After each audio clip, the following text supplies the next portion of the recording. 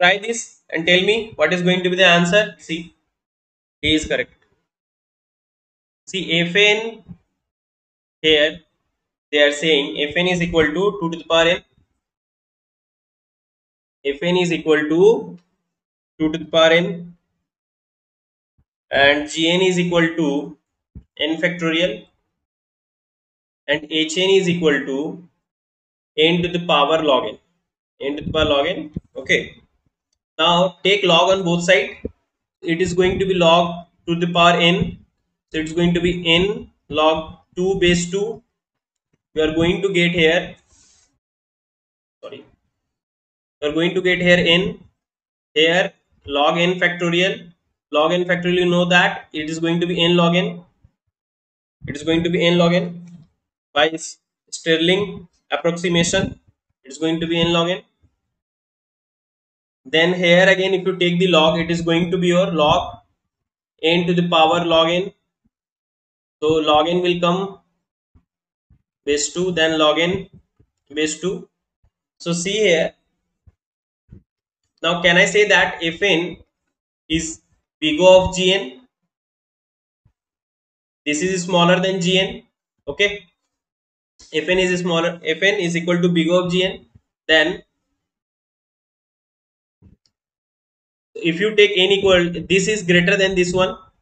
So hn is smaller than fn. If you take fn see if you are getting confused then take some number like n equal to 2 to the power 1024 so here you are going to get 2 to the power 1024 here you are going to get 2 to the power 1024 into 2 to the power 10 because the power term will come here. So it is going to be 2 to the power 1034 and here you are going to get 2 to the 10 into 2 to the 10 then you are going to get 2 to the 20 okay.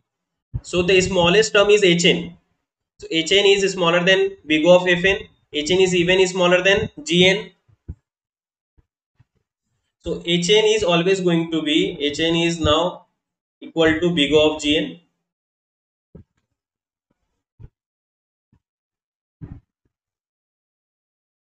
now see if now which option is satisfying? Hn is equal to big of gn. See here is saying hn is big of gn. Yeah this this is true. Hn hn hn is big of yeah correct. This is also true. Now see here fn uh, let us take of gn and hn. So in between these two this gn is greater so hn is big of gn oh that i have already written. Okay let me erase that. So if fn one minute. So fn I have uh, considered with gn. Now fn with hn also have did. Now gn gn and hn also we have did. Gn and hn yeah. So hn and fn yeah. Now see the option. Now see the option and try to eliminate now it is saying that fn hmm. is smaller than equal to gn fn is smaller than equal to gn fn yeah it's true. This one is correct. Fn is smaller than correct. Now it's saying gn is smaller than hn they are saying that gn is smaller than gn is smaller than hn but it is not true. It is not true. Hn is not greater. It is not true. Am i clear? Hn is not greater. Okay so this is false. So a is false so A is false. This is false. Hn is never going to be the greater one. Hn is not So this is also false. Now see here Gn and Fn is same. Gn and Fn. So here it's saying that Gn is smaller than Fn. But you have seen that Gn is going to be the greater one. Gn is the greater one. It is it is Gn is greater. Fn is equal to Gn, not Gn is equal. So this is also incorrect. So this is true.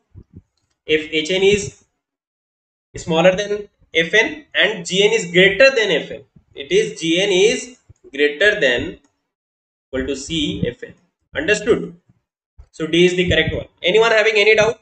Is it clear